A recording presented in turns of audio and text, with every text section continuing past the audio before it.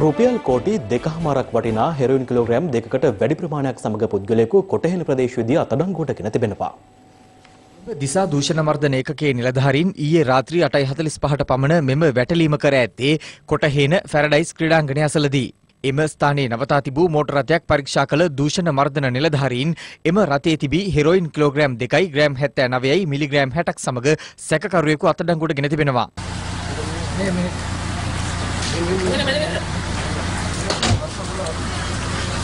අත්අඩංගුවටගත් සැකකරු මොහමඩ් මොහිදීන් අබ්දුල් රහුමාන් නැමැත්තා Colombo grand pass ප්‍රදේශයේ පදිංචිකරුවෙක්.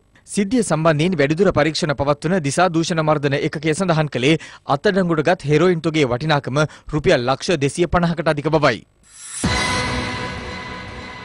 දැන් හිරු CIA විශේෂාංකය.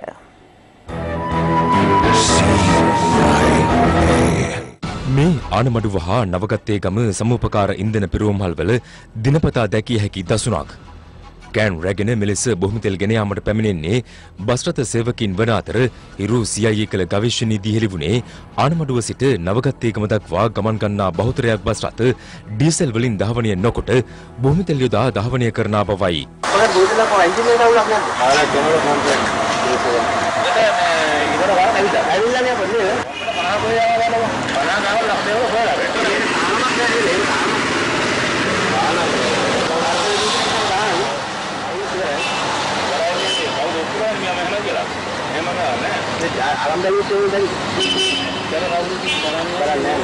භූමිතෙල් ප්‍රසිද්ධියේ බස් රථයේ ඉන්ධන ටැංකිය වෙත යොමු කළහොත් ඊට ජනතා අවධානය යොමු වන හේයින් බස් රථ සේවකීන් ඊට කදිම උපාය ක්‍රියාත්මක කරනවා.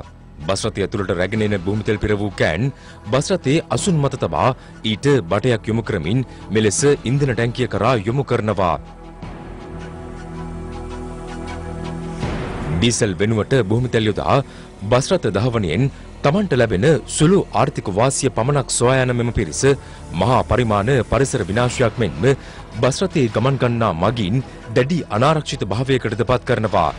එමෙන්ම දිනපතා සිදුවන මෙම නීති විරෝධී ක්‍රියාව නීතියේ රැහැනට හසු කර ගැනීමට පුත්තලම දිස්ත්‍රික්කයේ වග කිව යුතු බලධාරීන් ක්‍රියාත්මක නොවීමත් විමතිය දනවන්නක්.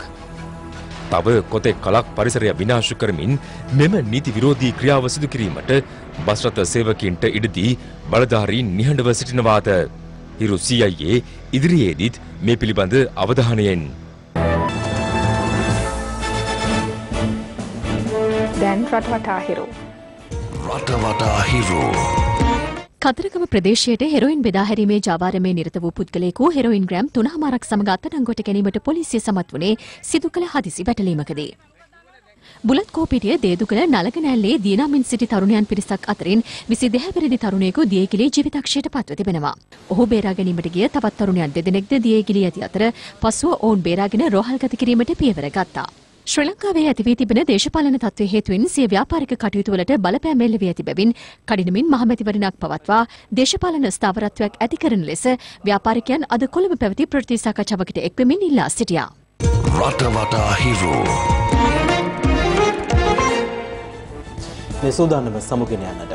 පැත්තක් නැතුව ඇත්ත දැනගන්න තිරේ දිස්වන පරිදි හිරු SMS ප්‍රෘති සේවාව ඔබේ ජංගම දුරකථන ජාලයට අනුව සක්‍රිය කරගන්න. අපි එළිහමෝනේ අද රාත්‍රී 9:55ට. Tayboğan.